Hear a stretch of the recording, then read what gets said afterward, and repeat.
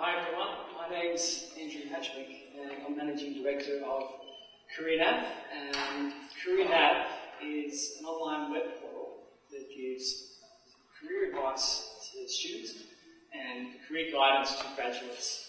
And we do that by uh, providing real life, real jobs on the website written by people doing those jobs to try and tell you how you can get into that job, what it's going to be like every day, how much you earn, and the type of things that we can that you can do to get in the door in the door of those jobs.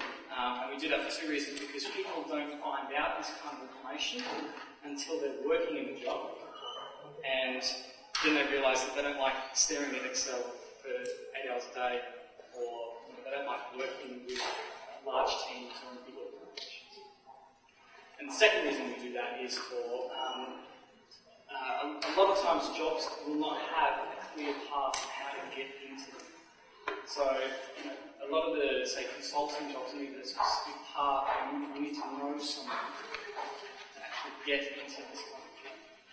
Um, so this is the first part of CareerNav. The second part is CareerNav features a whole section on life skills. Because finding a job, finding a career is not just about getting a, getting a degree getting some marks and going into a job. It's about creating something that you're proud of um, and, and, and, then standing up and saying, no, I'm the doctor or I'm a childcare girl. It's about, um, it's about a whole package. So that's career. Um, now, whether international students are employable, I'd have to say definitely yes. Um, and in some instances, I've found that they're more employable simply because they've got a second language uh, so I used to work in finance, and I worked with someone that could speak uh, Greek, uh, French, and English, and I couldn't tell which was his first language. And it was, it was amazing, and it made me more employable. And, um, one thing that we keep hearing is, I've done my degree, I've done my studies, I can't get a job, I've been going to after interview, I can't get and just like Jensen said, it's not just about a career. You that's just your the ticket to the game. That's just get, that just allows you to come and play. Can you hear me? Sorry. Okay. Like I said, getting a degree is just the start. It's, it allows you to come up and play and start applying for jobs. Before you get that, you're not allowed to. It's like some job, you can't become an accountant without that. So we get a lot of people coming to us saying, I've done my degree, I've got excellent marks, why can't I find a job? So, well, you know, it's more than just that. Um, but it's important to realise this as well, because as you journey, as you go through looking for jobs, if you have this realisation that that's just the start, that's where you've got to start to continue. That's what you, the first thing you have to do before you go and get a job it changes your mindset about how to approach things. And it's really important that you change the way you think about going about getting a job. So that's the first one. Um, what employees are looking for is, is not just marks. So, you know, the, the one thing that they're looking for is self-confidence. So, it's, it's a very soft skill, and I mean, how many people here, if they put their hand up, can genuinely say that they're self-confident when they go to an interview, they can say, stand in front of an interview panel, feel confident about who they are, you know, what they stand for, and generally can chat without feeling nervous or chat without feeling inhibited or anything like that. And someone's laughing down here, and I, I know it's funny, and people don't usually think about this kind of stuff, and it hurts their job chances. Every single fantastic job um, that I've heard people get, they get consulting jobs, they get other jobs, it's usually because after a while they get to a point where they don't care anymore, and then their real self comes through, and they finally make a breakthrough. So, you know, self um, confidence is extremely important. I can't stress that.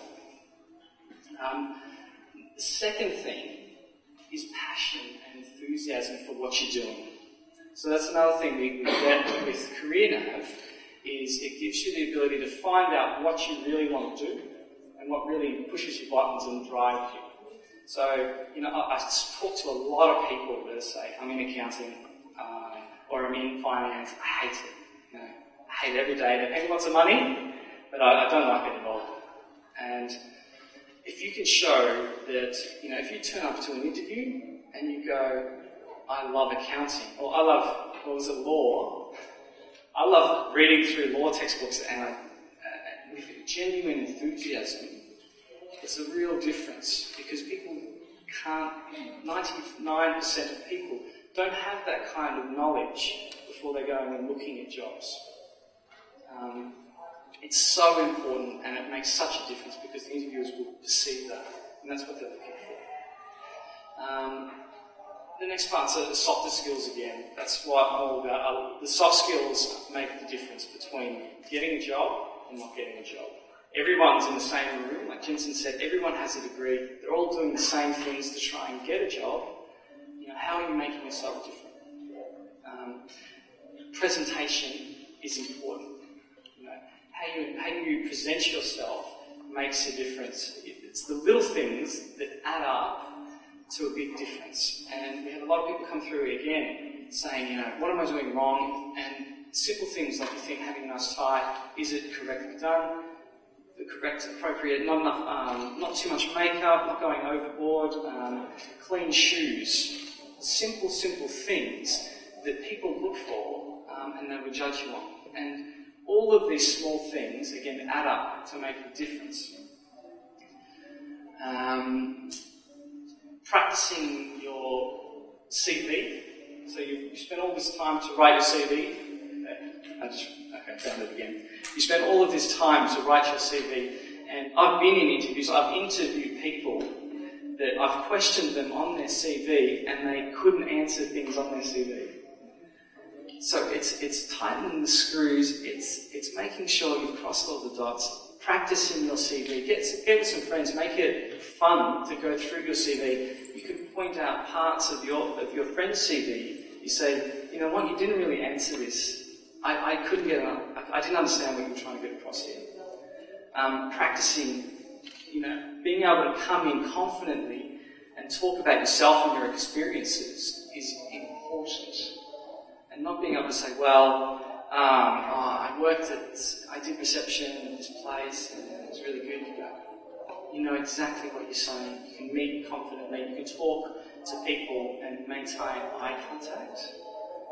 And those kind of things are very important when you're looking for a job and you're going through interview after interview because it's the differences that count. It's the small things.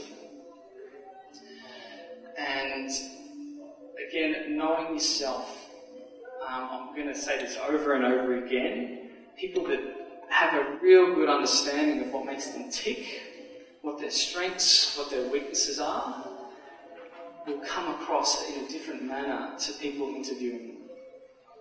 Okay, so if you have total certainty about who you are and what makes you tick, it, will make things go a lot more smoothly. Your interview will, will it'll give you that little bit extra edge and you'll be better for it. Um, and I mean, the interview process is all about making a, um, a relationship between you and the interviewer. It's about forming a bond in two minutes. So you've got two minutes to form a connection with this person before they make up their mind about you. Okay? So how are you going to, what can you do to make those two minutes count? Um, because after the two minutes, it doesn't matter how much you answer um, the questions, how well you perform in the rest of the interview, their perception, their connection has already been made within that first two minutes, and that's the most vital part of an interview.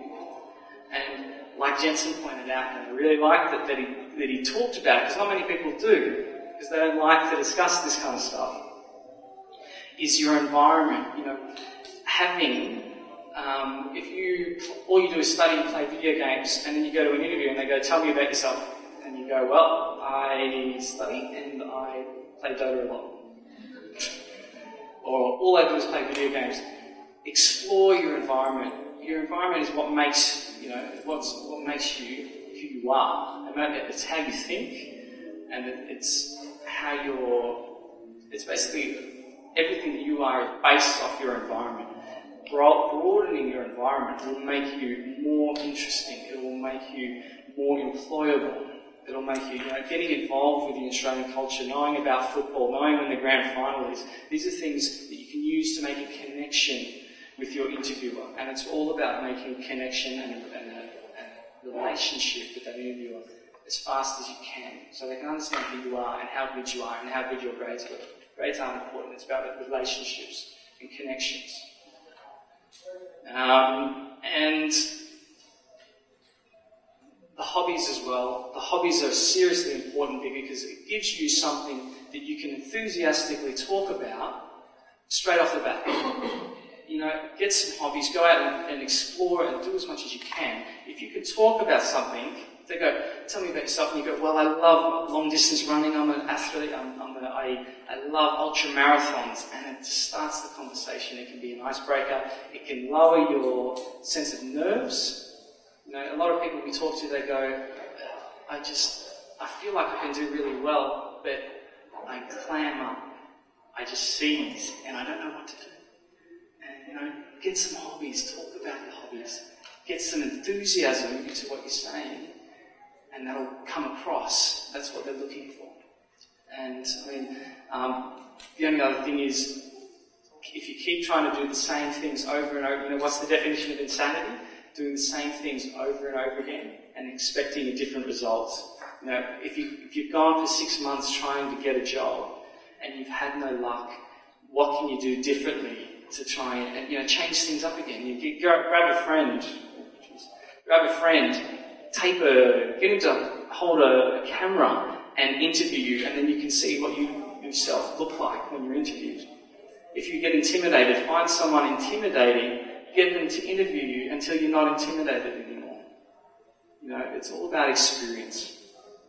And it's all about experience and persistence because, you know, um, finding a career is all about probabilities. Some things you do, you know, a whole bunch of things you do will gradually increase your, the odds of you getting a job, and some things you don't do will gradually decrease your odds of getting a job. And it's all about doing as many, as much possibly can to raise the odds in your favour.